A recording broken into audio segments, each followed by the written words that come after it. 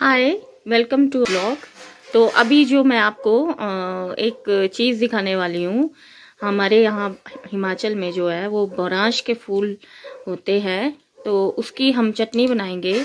तो आपको दिखाएँगे कि वो चटनी कैसे बनती है। तो पहले आप जो है, हमारे जो ब्रांच के फूल हैं, उनको देखिए। इनको ब्रांच के फूल बोला जाता है।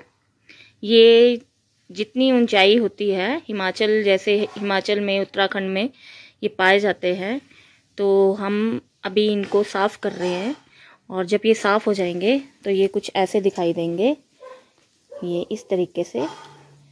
फिर हम इसमें हरी मिर्च, प्याज, नमक, हरा धनिया डाल के इसे कूटेंगे और इसकी चटनी बनाएँगे। तो आप देखते रहिए, थोड़ी देर बाद आपको हम चटनी दिखाएँगे कि चटनी कैसे तैयार और फूल जो है वो बिल्कुल साफ़ हो जाए। इस तरीके से देखिए। ऐसे धोने जाने में।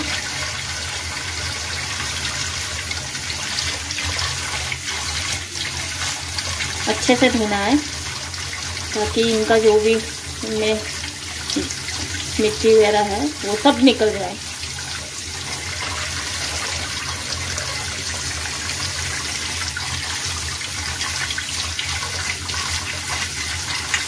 अब हमने ये फूल धो लिए।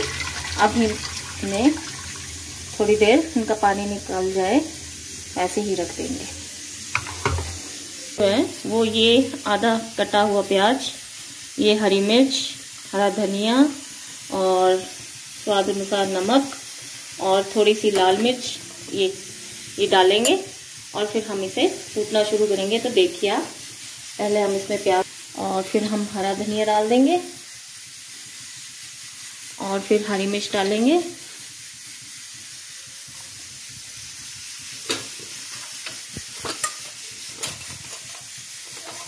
ये नमक।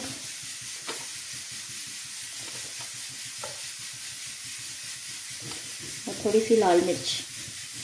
पहले हम इसे ही कूटेंगे। फिर थोड़ा कुट जाएगा। जैसे थोड़ा महीन हो जाएगा तो उसके बाद जो हम फूल डालेंगे, क्योंकि फूल कूटने में जो है वो ज़्यादा टाइम नहीं लगता है। तो अभी हम इसे कूटना स्टार्ट करेंगे। तो ये हम इसे कुंडी घंटे में पीस रहे हैं। देखते रहिए आप।